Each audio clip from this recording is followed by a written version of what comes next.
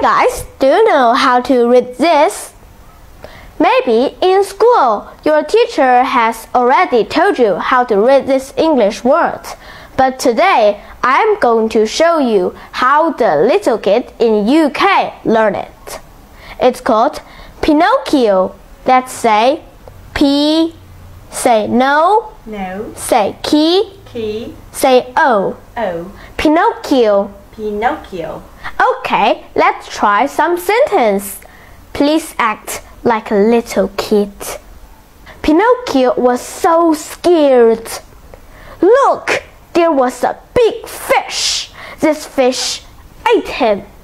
Mm-hmm. Oh, it's gross. The fish spat him out.